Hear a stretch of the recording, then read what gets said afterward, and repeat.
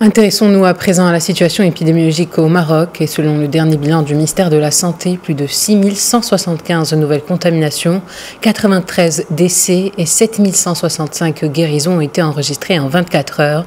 Dans le royaume, la campagne de vaccination se poursuit à un rythme soutenu. Jusqu'ici, 18 200 000 personnes ont reçu une première dose du sérum et 14 300 000 sont complètement vaccinées.